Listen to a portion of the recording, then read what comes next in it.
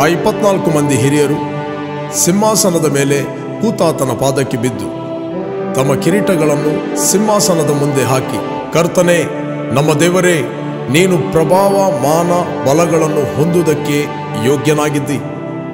ಸಮಸ್ತವನ್ನು ಸೃಷ್ಟಿಸಿದಾತನು ನೀನೇ. ಎಲ್ಲವೂ ನಿನ್ನ ಚಿತ್ತದಿಂದಲೇ ಇದ್ದವು. ನಿನ್ನ ಚಿತ್ತದಿಂದಲೇ ನಿರ್ಮಿತವಾದವು ಎಂದು ಹೇಳುತ್ತಾ ಯುಗ ಯುಗಾಂತರಗಳಲ್ಲಿಯೂ ಜೀವಿಸುವಾತನನ್ನು ಆರಾಧಿಸುತ್ತಾರೆ.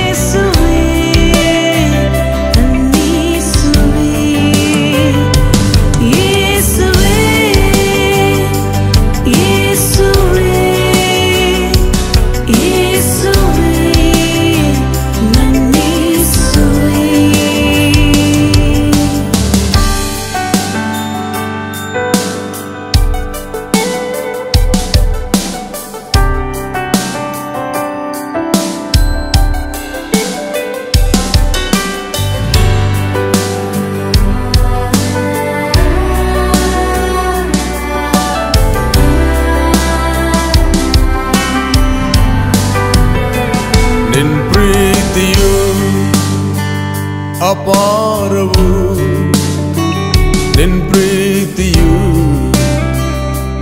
ಶ್ರೇಷ್ಠವು.